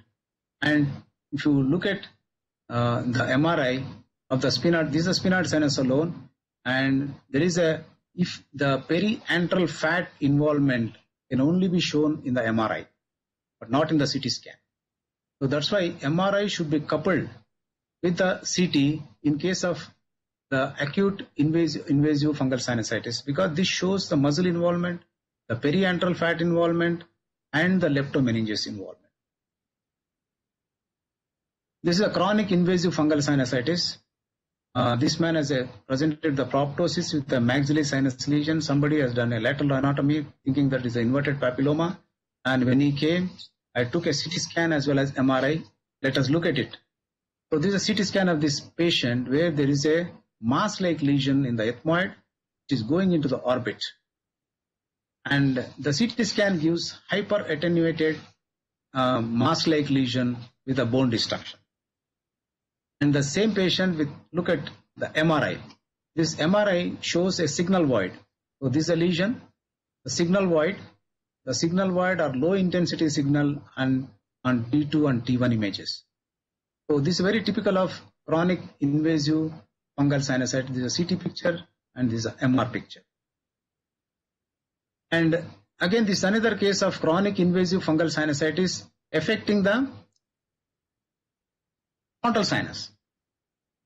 So this is presenting like a tumor-like lesion. Look at this tumor-like lesion. We don't know. So there is no heterogeneity. Uh, the patient is a diabetic. There is no heterogeneity, but it is a tumor-like presentation. Are very going in an indolent long course of more than six months, and have taken and this is the MRI of the same patient. See that it's a totally a hypointensity signal. And when have gone inside, inside, it's a tumor-like lesion, and we have done a biopsy, and that shows as the invasive fungal sinusitis. Then coming to the, the last uh, presentation of uh, the common lesions in the ENT practice is fibro-osseous lesions. The fibro, for all the fibro-osseous lesions, whether it is a uh, fib- there's a fibrous dysplasia or osteoma, the CT scan again is the gold standard, and MRI doesn't have much value. And you can see this is a fibrous dysplasia in about 40 year old female. See here, this is uh, affecting the one side of sphenoid sinus, and this is a foramen rotundum involving the foramen rotundum, the corresponding side, and these are pterygoids are completely involved, and this is a fibrous dysplasia. But her main complaint was a headache. And this is a fibrous dysplasia of the ethmoid. Is a very compact lesion going for a little bit of more osteoid elements. And here the less osteoid elements, more osteoid elements. And this is the osteoma of the frontal sinus, the very ivory osteoma, very thick elements. So CT scan is best for the fibroosseous lesions. And uh, thank you very much. Uh, Thank you. Thank you, Dr. Venkatram Reddy. That was an excellent and a very extensive talk on uh, radio imaging of the paranasal sinuses. I covered Uh, about 80, 84 slides. Yeah, yeah, and you were very well in time. I was bit I was bit fast. actually, actually, actually. And uh, this was very precise, uh, so that there was a lot of correlation with the clinical cases, and you were very uh, precisely explaining to the postgraduates as to which investigation should be the investigation of choice in the particular condition. Uh, we still have some time for some questions. Uh, so, Dr. Reddy, if you are ready, shall I shoot them? Yeah. All right. The first one is uh, in a sagittal section, how do you identify whether it's a left or a right side if there are no markings involved? No, markings are, uh, uh, you have to see, there should be marking. Sometimes there may not be any marking. Then sometimes the right or left or left, they will make it left to right and right to left. Right. So it happened to everybody. So in that case, you have to correlate with the diagnostic nasal endoscopy finding. There is some correlation. You see Mhm. at the uh, turbinal hypertrophy or a septal deviation, you have to correlate if there is no marking. True. So that is one, that, that one correlation. And uh, second again with the diagnostic nasal endoscopy. So again, you cannot treat a patient if you haven't seen inside the nose. No, yeah. That's- Okay. The, the second question would be what is the difference between a normal MRI and the MR cisternography? MR cisterno and normal MRI. Yeah. M- in MR, cyst, uh, MR cisterno, actually, it uh, uh, the plain MRI is done for a brain parenchyma. Hmm, Correct. M- MR no. we look at the CSF. Hmm. Right. And you've explained in detail. Yeah. So basically, th- it is it is a sequence and not using any contrast. Yes. So how do you differentiate between a hypoplastic maxillary sinus and a sinus, uh, silent sinus syndrome?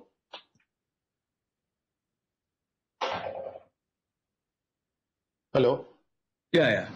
Yeah. The hypoplastic maxillary sinus, if you uh, have the feature, you uh, in the radiologically, you Mhm. can draw a vertical line from the medial orbital wall. So Mhm. if the medial wall of the maxillary sinus is lateral to it, then you are Mhm. dealing with a case of the hypoplastic maxillary sinus. And secondly, the the pneumatization, normally maxillary sinus pneumatization it, it comes up to the level of the floor of the nose. So in case of hypoplastic, it, it has to be above it and it assumes the shape of maxillary sinus assumes the shape of a oval shape rather than a pyramidal shape. Right. So that they are the characteristics of uh, features of hypoplastic maxillary sinus. Right, right. In the silent sinus, then what would be the radiological features? Uh, I, I I don't have clear concept about that. Can anybody tell? Dr. Renuka can throw some light on that. Renuka, could you throw some light on that on uh, silent sinus uh, syndrome? Madam, unmute yourself.